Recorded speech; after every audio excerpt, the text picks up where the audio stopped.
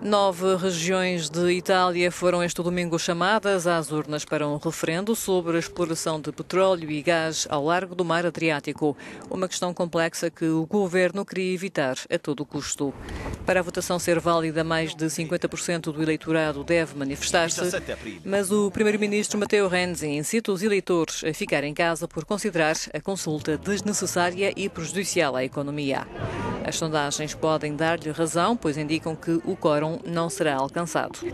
O referendo concentra-se em saber se as licenças de perfuração offshore num espaço de 20 km da costa nacional devem ser renovadas.